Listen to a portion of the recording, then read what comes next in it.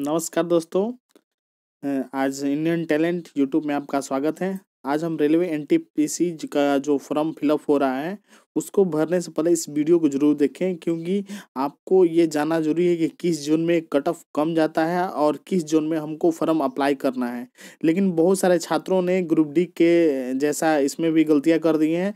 इन सारी बातों को डिस्कस करेंगे कि 2016 में कट ऑफ़ कितना कम गया है या पिछले जितने भी दस वर्ष के एग्ज़ाम हुए एनटीपीसी का, उसमें कट ऑफ़ कितना क्या है, इन सारी बातों को हम डिस्कस करेंगे। उसके बाद आप लोग इस फॉर्म को अप्लाई कीजिएगा फ्रेंड्स। अगर ये वीडियो अच्छा लगे तो इसको लाइक करें, शेयर करें, कमेंट करें और सब्सक्राइब करना ना भूलें फ्रेंड्स, ताकि जब भी हम इस तरह के वीडियो लेकर आते हैं आपके लिए यूट्यूब पे तो आपके पास नोटिफिकेशन आसानी से पहुँच जाए फ्रेंड्स। तो चलते हैं, देखते हैं कि जो सबसे पहले जो वैकेंसी है, इसमें कितने कितने पोस्ट आए वैकेंसी आई हुई है, उन सारी चीज़ को देखते हैं, उसके बाद उसके ऊपर डिस्कस करेंगे किस जोन में अप्लाई करना चाहिए।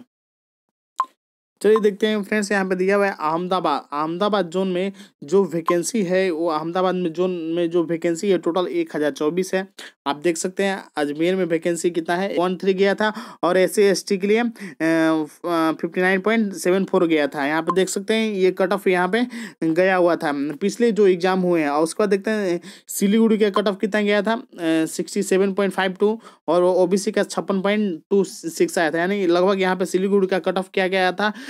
कम गया था। यानी लगातार ये सिलीगुड़ी का कट ऑफ़ भी कम जा, जा रहा है। साथ में हम देखते हैं कि और कौन कौन सा जोन का जो कट ऑफ़ है, कम जाता है।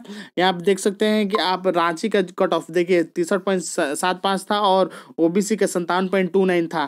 तो आप रांची का फॉर्म यहाँ पे कट ऑफ़ भी कम जाता है। और देखते हैं कि कहाँ कट ऑफ़ कम जाता है। मुजफ्फरपुर का सबसे कम कट ऑफ़ गया था फ्रेंड्स संतावन पॉइंट नाइन सात, सेवन गया था, पैंतालीस ओबीसी के लिए पैंतालीस पॉइंट फाइव सेवन गया था। तो ये सारे कट ऑफ़ दिखाने का यही तत्पर है कि उस समय भी वैकेंसी मुजफ्फरपुर में वैकेंसी बहुत ही कम थी, लेकिन फिर भी वहाँ पे कट ऑफ़ कम गया था। तो हमें अब आते हैं इसके पोस्ट प्रीफरेंस के ऊपर पोस्ट को देखते हैं कि कौन सा जोन में आपका फॉर्म अप्लाई करना चाहिए। सबसे पहले हम बात करते हैं ऐसे स्टूडेंट जिनका जो तैयारी उनका क्या है? हंड्रेड परसेंट है। जिनका तैयारी क्या है? हंड्रेड परसेंट है। उनकी बात करते हैं। जिनकी तैयारी क्या है? हंड्रेड परसेंट है। हंड्रेड परसेंट जिनकी तैयारी है उनकी बात करते हैं। वैसे स्टूडेंट वो अपने अपने ही जोन में वो लोग अप्लाई कर दें।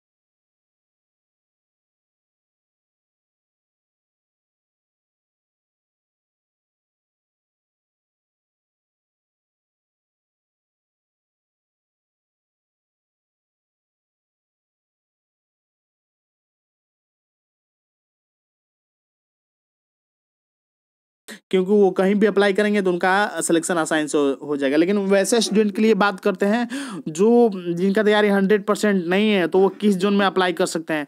तो आपको टॉप टॉप आपको फोर्थ जोन छोड़कर, यानी टॉप फोर्थ जोन छोड़कर, जैसे कि इलाहाबाद छोड़कर, आपको चंडीगढ़ छोड़कर, चेन्नई छोड़कर, आपको कोलकाता छोड़कर इस सब जोन में आपको अप्लाई नहीं करना है। ऐसे जोन में अगर अप्लाई करते हैं तो आप लोग डेंजरस जोन में हैं। भले ही सीट यहाँ पे अधिक है, लेकिन आप, यहाँ पे कट ऑफ़ हाई जाएगा।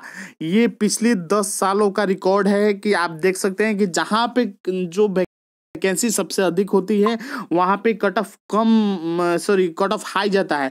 जैसे कि आप देख सकते हैं कि इस बार जो रेलवे ग्रुप डी का जो एग्ज़ाम हुआ है, वहाँ पे देख सकते हैं कि जो बेंगलोर जोन का जो कट ऑफ़ है, बहुत ही कम गया है। तो आप टॉप फोर जोन छोड़कर यानी टॉप फोर जितने भी जोन है, जितने भी अधिक वैकेंसी है, वहाँ पे आप फॉर्म अप्लाई ना करें।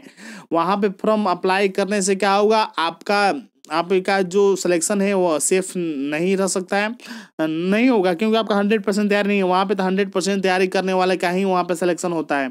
और अगर चाहते हैं कि आपका सिलेक्शन हंड्रेड परसेंट हो तो आप वैसे जोन में फॉर्म फिलअप कीजिए, जहाँ पे ना ही कम सीट है, ना ही कहीं अधिक है। यानी सबसे कम वाला में भी नहीं डाला मीडियम वाले, जैसे कि जहाँ पे सीट एक हज़ार सीट है, दो हज़ार सीट है, तीन हज़ार सीट है इन सारे जोन में आप लोग अप्लाई कर सकते हैं फ्रेंड्स तो अगर ये वीडियो अच्छा लगे तो इसको लाइक करें शेयर करें कमेंट करें और सब्सक्राइब करना ना भूलें फ्रेंड्स, ताकि जब भी हम इस तरह की वीडियो लेकर आते हैं, आपके लिए यूट्यूब पर तो आपके पास नोटिफिकेशन आसानी से मिल जाए फ्रेंड्स। तो मिलते हैं नेक्स्ट वीडियो में, तब तक लिए बाय